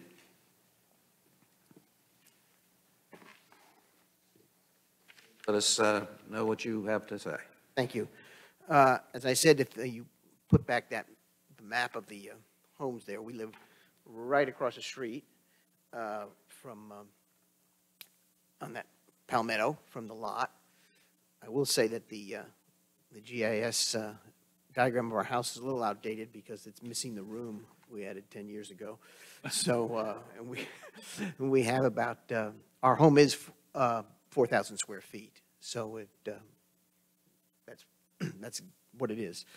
Um, I, uh, I do wish uh, that Molly was still our neighbor, so she could see this, what was coming about. But then if she was, John Taylor and his wife would not have returned. So it's sort of a yin and a yang as to what would have happened there. Um, We, um, we have been wondering why it had been taking so long to begin the construction, and we were, we are anxiously awaiting uh, the arrival of our, our new neighbor. Uh, I, uh, I want to compliment uh, what the Yardleys had been doing, and he rem- reminded me when he was testifying, the plantings they put in there were, are nice. And I thought, I, I thought when I saw those, I said, oh, my God, that's going to fit in very well. So uh, what I want to say is that I, I don't know who we should build a statue to, whether it's Yardsleys, Parsons, or Bart Boudreau for demolishing that structure that was sitting on that property for that amount of time, that prevented several other people who wanted to buy that lot to not be able to buy the lot. So I just want to go on record about that particular Hear, piece hear. of property. And I think the Taylors will, will know that. I, um, the only thing I would, um, two minor recommendations, and uh, uh, one has to do with uh, any improvements that can be made to that alley while you're doing construction work, I think would be welcome to the uh, folks in the community. And I know we've talked a little bit about that. And, uh, Been MJ's pet peeve. yes, my wife is always wondering about the alley. Looking at the trash cans, and I said, we're going to deal with that. So uh, I I encourage that. The other thing I- I'd like you to uh, look at, I think I I mentioned it briefly, Mark, when we met, is that the, um, on the Palmetto Road side, there is one utility pole standing there with three lines going into the ground. And I uh, uh, would ask you, and uh, perhaps uh, the village would work with you, as a way to remove that and put that utility, that little portion underground. I think it Yeah. would, from a visual standpoint, would help uh, the community, certainly the, the rights lot. Right. Uh, And uh, so I would encourage that. I, Uh, I agree. Um, Tim also talked about possibly, he said he's moved a fire hydrant in the past, but he had to pay for it. And maybe, Ah. maybe the fire hydrant goes on the other, in the triangle, the trees. I think that's probably with the fire department. But that's something we talked about, and Tim's all in favor.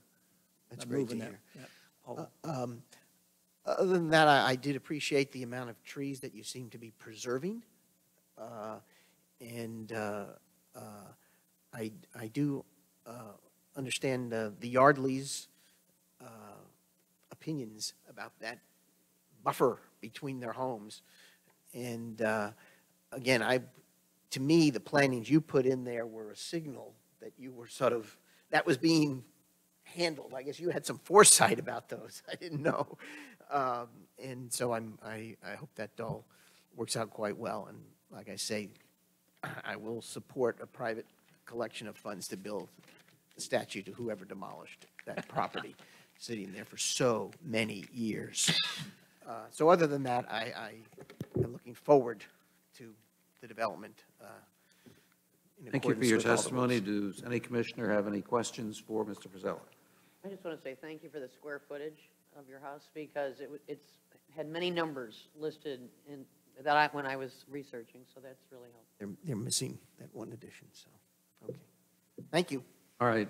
Uh, Are there any, uh, is there any other member of the public who wishes to be heard on this case?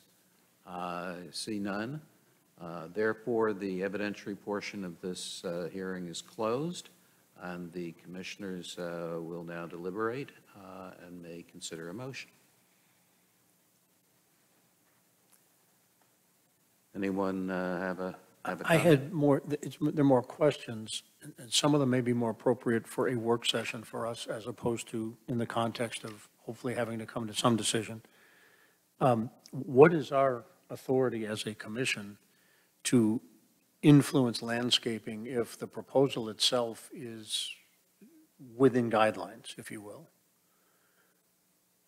Uh, Secondly, whether landscaping itself should be on a standalone basis sufficient to deem something not congruous. I- If the house on its own were deemed congruous, is the landscaping alone sufficient to deem the proposal or the application not congruous? I can answer part of that. I'm addressing the panel I'm here. sorry. Uh, Let me try to at least answer part of that, uh, which is that uh, have, when, when we receive an application for uh, new construction, it typically includes, uh, and, and often for renovations as well, it often includes uh, changes to landscaping.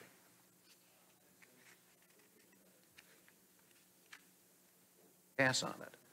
Uh, If we, if we disapprove the landscaping but approve of everything else in the application, I suppose we tell the applicant uh, they have to change their landscaping in order to, to proceed. Uh, That is, a. I That's- think it's a that's a- good question, and since there's, it- it's a great question for a work Yeah. session, probably, because right now, I think we only have authority over the canopy on the street, but I don't know if what that is limited by. Is it limited by Hi- authority? Historic commissions have the ability to, to have standards on landscaping. It, it's defined by the local adopted document. So you, you have that authority. there are more standards currently uh, adopted that have, that, that, that reach beyond tree canopy, the removal of, of tr- private trees. Any alteration to existing landscaping should be congruous with, uh, forget the rest of the terminology. Now, how that relates to buffering against a neighboring property owner is a, is another topic. Um, Walls, other site features are listed under landscaping, so it's not just preservation of trees, it's not just planting of trees. Um, it's the alter, the location of driveways, off-street parking. We have, local historic preservation commissions have that authority, it's just based on what's on, what's on the books. So any action you make, it's got to be based on standards that you have currently adopted. And I don't believe. now, And if what standards beyond the canopy are actually in our, are actually in our standards? Well, there's guidelines as to what plantings, Right. Right, That's I mean, plantings. Page 58, it's a whole list. Thank you, David. Should be what? Page 58, it's There's a whole section based on landscaping in the standards. Could we pull it up?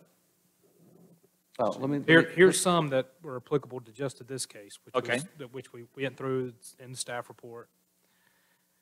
Section seven, which is site features, subsection C, landscaping and veg- additions or alterations to existing landscape, including plant material, hardscape, accessory structures, must be compatible with the architecture character of the primary structure and congruous with the district. So that answers pretty much both of John's questions, is is related to the structure itself, but also with the district.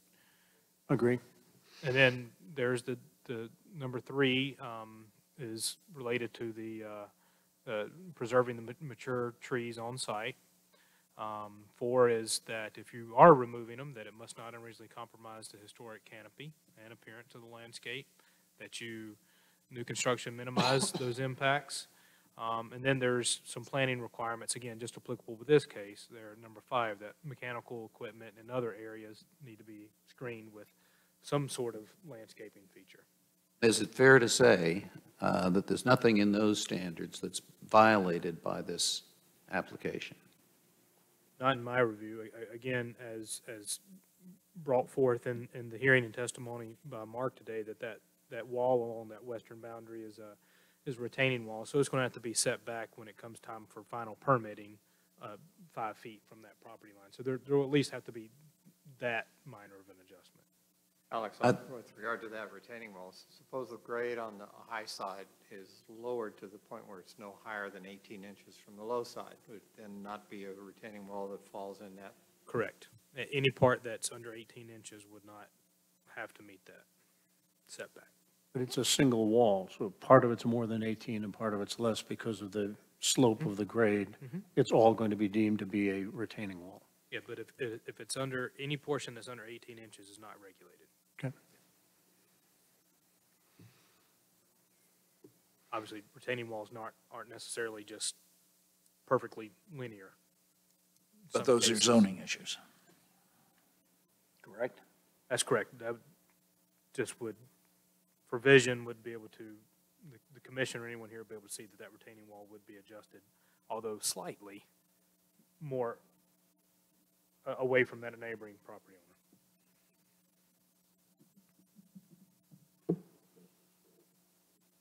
Any uh, thoughts as to how to proceed? Lady and gentlemen. Can I make a motion? Who? I find the right one.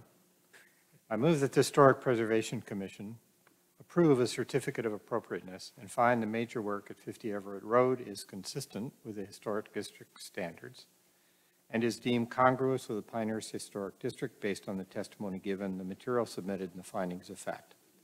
Is there a second? Second. Uh, Any discussion? Uh, Let me just A- A express my... question prior to the vote? Are- Are commission members required to vote either yes or no? Yes, They cannot abstain. cannot abstain. I've been so advised that that's the, I'll- and that's, let that's you- the rule in this, in this agency. Right. But I think you could, if, you mentioned you live near that, if it's an issue of, of, um, I- I think I will recuse myself from voting. All right. Because And you- w- With the, with the further explanation that I am more perplexed by this than I've been with any other case in front of us. I'm actually not sure which way I want to vote, but in any case, in the interest of preserving good neighborly relations, I will recuse myself. Okay. That's legit. Would you please leave the table?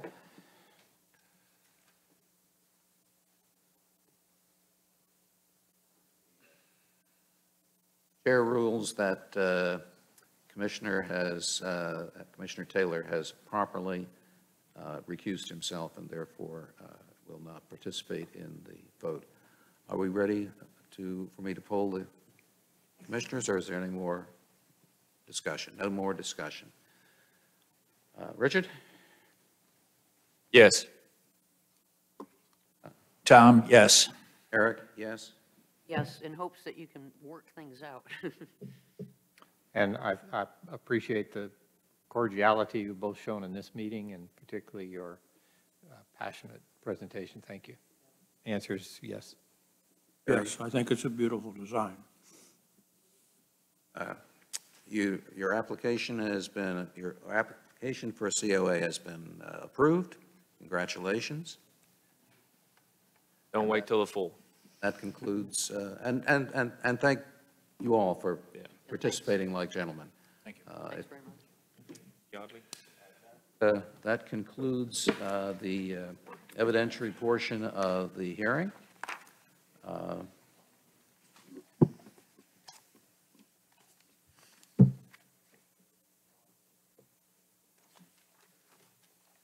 All right, uh, may I have a motion to close the public hearing and return to So the moved. regular commission? Second. All in favor, say aye. Aye. Any opposed, say nay. We are now in the regular meeting. This is a public meeting, and you are all welcome to stay and observe, but only members of the commission and its staff may speak. Uh, We have been given uh, the minor work staff approvals, uh, which everyone has had an opportunity to review. Uh, If anybody has any comments on them, that's, we can hear them. Otherwise, any other new, any other business? Uh, May I then have a motion to adjourn? Uh, Before we do that, can we talk about setting a work session? Okay, we can do that. Uh, Alex, what do you, what do you think? Within the, that s- second full week of May, um, aside from the, that Tuesday, which will uh, be a council meeting, um, and with the, the SOP or the budget will be um, a topic of discussion amongst other things, so that would not be a, a- a good date. Um, I don't know if maybe that 12th? I'd- I'll be prepared in the next two weeks, is what I'm trying, if if other folks are available, if we can work out some sort of, some sort of time or scheduling. I am tentatively gone the whole month of May. I could return. I'd prefer to return for the, for the meeting itself and not a separate work session, but that is just me. I could certainly phone into a separate work session if that were permitted. Uh, I don't think there's any reason we couldn't do it that way. Is that uh, We, we, feasible? we could, it's the 26th, yeah, which we, we, we don't have an idea, We- we got, had a light month. Good. Um, I, I thought, um, we, we may have the same, I do have a conflict potentially on the 26th. Um, It's not really, uh, my son may be, his graduation, ascending into kindergarten, and I wouldn't want to miss it if I could possibly do that. Nor Work should, session- nor should you. It only happens once. Yeah, but work sessions, what we've been doing, we've been scheduling those ahead of the regular meeting, so I, I don't think that would impact that. But I, I didn't know how soon we may, if we want to wait another month. Yeah, that's fine with me. Un- Unfortunately, that does make me feel like I've got more time, and then I turn around, oh, no, I don't, because then I'm also preparing packets for the regular meeting. But I can make whatever work. I think some of the cases we had today are playing right into where we left off at the last work session. Hmm? Um, And then I would like to have more discussions in the coming year to kind of maybe keep a continuing review of, of these. There's other items that are being, being brought up, landscaping this evening. Um, But I, I do want to finish this charge that we initially set out on. Okay. I, I'm, I can be open, I can be flexible. Uh, Well, uh, if John's going to be away for the month of May, uh, I- we, I personally would rather have the, have you uh, at the, at the work session. And the whole gang, Uh, gang so, back together. uh, And nobody else has indicated uh, uh, unavailability in June. Is that correct? Well, I've got an unavailability the week of the 8th, for most of the 8th. Okay? I think I'm not around in June. Right? No.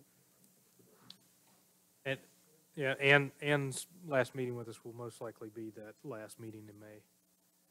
Very sad. Really? I don't know. I have some dates in June that don't work, not the meeting date, that I will be here for that, for certain.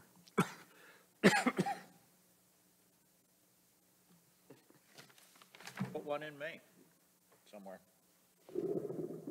I- I- People are going to be on vacation and in and out all over, and the I would odds of try to schedule- everybody here, I think, are going to be.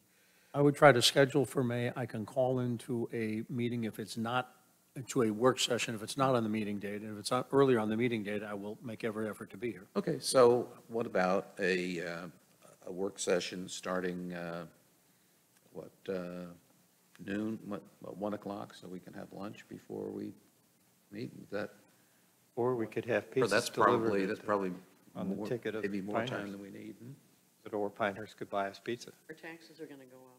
We'll take it back. Uh, paying attention to the SOP. Is, uh, A couple of years there, right? So if we do it directly before the meeting, you'd still be able to make your graduation? I should. The- The graduation's obviously in the evening. Um, Like Cameron, right? Don't they go alphabetically and then they? Yeah, so I'd have to hurry. it's not like Got about a it's half not an hour Vince drive, yeah. Yeah, But, but then you can come back later, so. That's right. So we're, are we talking May 26th or am I off by May twenty-sixth before the meeting. 4 PM? So before the meeting wouldn't interfere with your graduation? Correct. all right, well, uh, why don't we, uh, why don't we do that? Uh, 1 o'clock on the 26th? One o'clock? I'd Two say o'clock. So two. Two? Two hours Is is the room available? Minute. It is, okay, thank you, Shannon. Always a step ahead of us. What date did he say? Oh, in conjunction with? To 2 PM, is that correct? Be out of town before then, all right, but I'll be May back. 26th. Should have some new faces to introduce at that meeting as well, so that would be a good opportunity. Some new staff faces. We're not allowed to start meetings earlier than 4 o'clock, are we? Why don't we then? Oh, I think it was, it's To more to be accommodate- accommodating of, for everyone. no, to accommodate you, can't the hearing be moved earlier? With prior notice, probably, but. Yeah. Yeah, we, Why don't we? I mean, can't we? What is, I'm sorry, what is the? Um, Oh, actual To HPC. You saying actual HPC moving it? yeah, if, if it'll help Alex. oh, that doesn't, that's not, No? that's not the the main issue. Yes, it No, but I mean, It should be. I mean, what's the difference? Does it- Well, I think there may be a different notification Right, requirement, but right. that's all. Darren hasn't earned his keep lately anyway, so. Oh, so Darren can, perfect. Are you sure all the applications weren't completely satisfactory and complete? I- I- I'm picking up on what you're saying, but the deadline hasn't come yet. Well, we have already adjourned, uh, but uh, we have, uh, so we don't have to have another motion to adjourn. I think we just adjourned the, the hearing. I think we still might need to, to adjourn the, the meeting itself. Well, I think we actually did, but we should, probably shouldn't have since we've been discussing We can double uh, it. work session. Uh, The chair will entertain a motion to adjourn completely. So moved. There a second? There a second? I think Terry got- All in favor, say aye. Aye. Any opposed? We're completely adjourned. And an interesting